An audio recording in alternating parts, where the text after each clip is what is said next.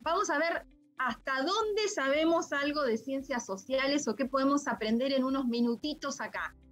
Les cuento algo. Conocen que hay una norma muy grande que se llama Constitución Nacional. Eso lo deben saber.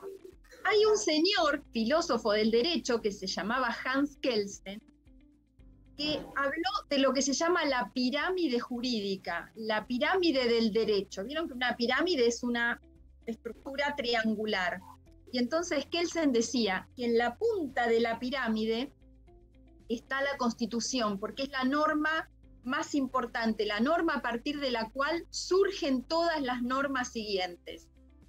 Una constitución, si ustedes lo, lo han visto, es una carta constitutiva. Algunos dicen es un plan de vida que se da en un grupo de personas en una comunidad. ¿Y cuál es? ¿Qué contiene ese plan de vida? Para hacerlo sencillo, contiene como dos partes importantes. Una parte es los derechos y garantías de los ciudadanos y la otra parte es todo lo que es la organización del poder. Entonces ustedes van a ver que habla de el derecho a la igualdad, los, derechos de los trabajadores, etcétera, etcétera, todos los derechos. Y por otro lado, la Constitución habla de lo que es el poder ejecutivo, el poder legislativo y el poder judicial.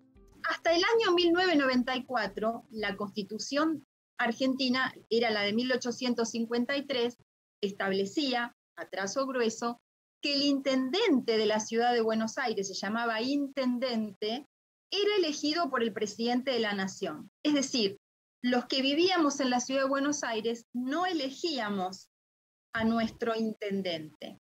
Esto se cambió en el año 1994, se hizo una reforma constitucional muy grande y en lo que nos interesa a nosotros, el artículo 129 de la Constitución estableció la ciudad de Buenos Aires tendrá un régimen de gobierno autónomo, con facultades propias de legislación y jurisdicción, y su jefe de gobierno será elegido directamente por el pueblo de la ciudad. ¿Y qué pasa con el Poder Judicial de la ciudad?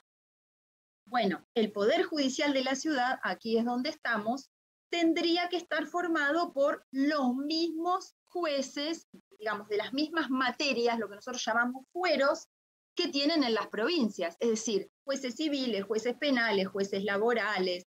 Tenemos pendiente la ciudad de Buenos Aires que pasen a la órbita de la ciudad, porque en verdad pertenecerían a la ciudad de Buenos Aires.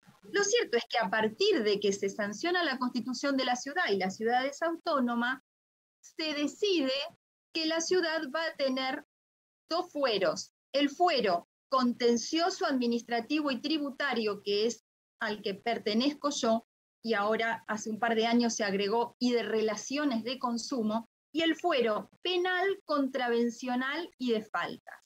Doctora, una de las preguntas era cuál fue su primera sentencia.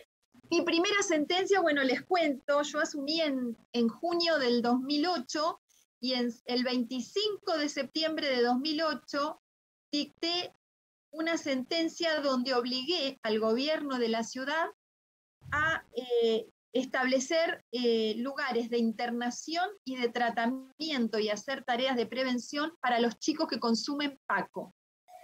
Los jueces no estamos debajo de una campana de cristal ni metidos en una cápsula de ozono. Somos seres humanos que vivimos en la misma sociedad en la que vivimos todos, que también tengo una idea del mundo, de la sociedad, de las personas.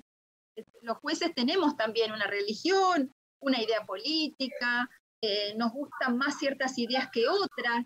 Eso es imposible que uno esté bañado en agua bendita y, y, ausente de todo condicionamiento. Quien piensa eso no tiene idea de lo que es ser juez. Uno es juez con todo eso. Y como dice una colega mía, filósofa del derecho, imparcialidad no es neutralidad dice Alicia Ruiz. Imparcialidad significa que el juez no puede tener un contacto personal con las partes, no puede ser mi amigo, el actor o el demandado, ni mi pariente, ni porque si no, yo ya no tengo objetividad para resolver.